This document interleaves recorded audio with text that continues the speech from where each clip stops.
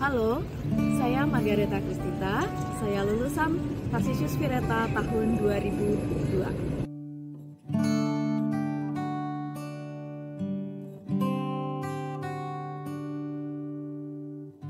Saya sangat senang sekolah di Tarsisius Vireta karena guru-gurunya baik, eh, cara mengajarnya menyenangkan, dan memberikan wawasan yang baru bagi siswa-siswanya.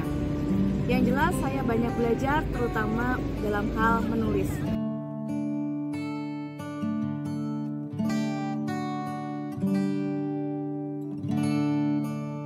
Saat ini saya bekerja sebagai peneliti di Kementerian Lingkungan Hidup dan Kehutanan dan saat saat video ini diambil saya sedang menyelesaikan uh, program doktoral saya di University of Helsinki di Finlandia.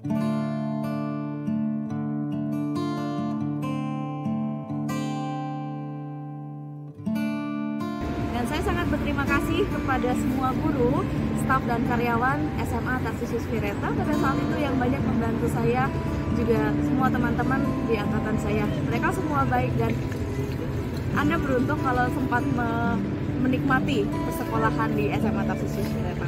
Maju terus!